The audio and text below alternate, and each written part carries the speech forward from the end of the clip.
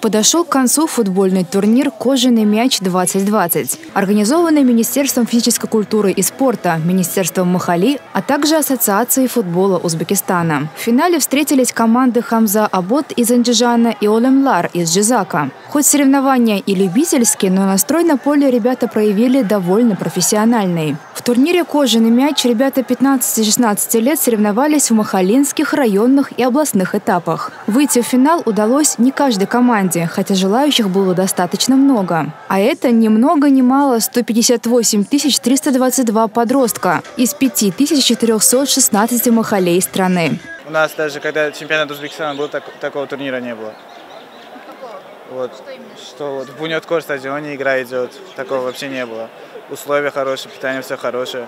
На территории стадиона Милли каждый из игроков боролся до последнего. Ведь на кону кубок и звание лучшей команды. Но настоящей звездой финального турнира стал игрок из Андижана Ахрор Хашимджонов. Он буквально спас команду, забив два гола с пенальти, тем самым завоевав победу для своей команды.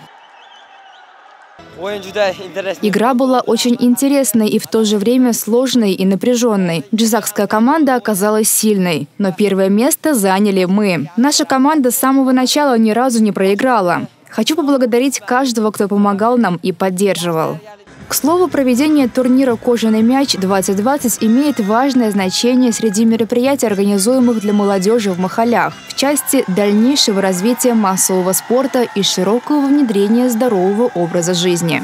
6-9 ноября со всех областей выигравшие команды приехали в город Ташкент и между собой состязались.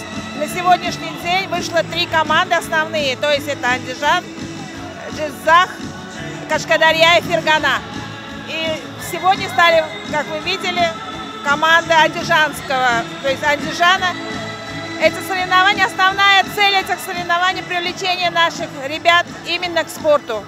К спорту, то есть к такому виду спорта, как футбол, потому что футбол – это очень один из любимейших видов спорта наших ребят.